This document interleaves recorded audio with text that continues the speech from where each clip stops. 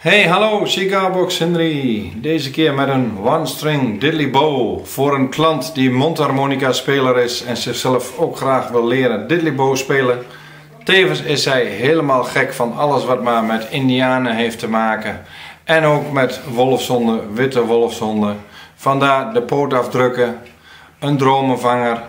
En als je goed kijkt kan je in deze veer ook nog herkennen dat hier een hondenkop in zit met hier de neus. Prachtig artwork gedaan door Pauline Design. Die dat hier allemaal op heeft geschilderd met de hand. Heel, heel veel werk. Hartstikke mooi gelukt. De diddly bow heeft ook een pijlvorm. Hier zit een punt aan. Aan de achterkant is hij rond.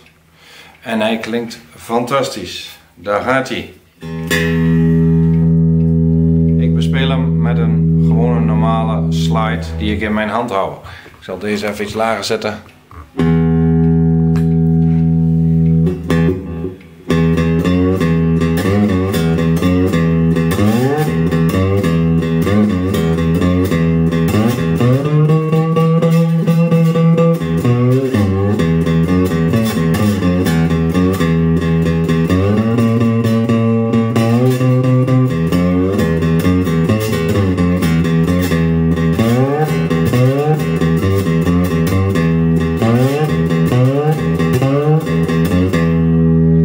Maar ook met heel veel distortion.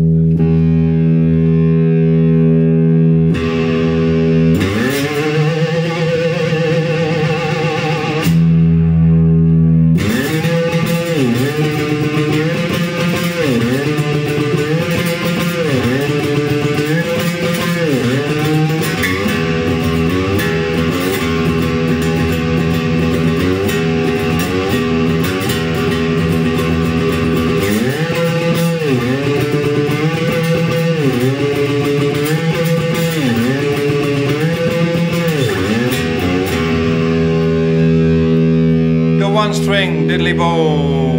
Verkrijgbaar via www.dutchinstrumentsforyou.nl En dit was een geweldig mooie opdracht om te mogen maken. Dankjewel voor het kijken.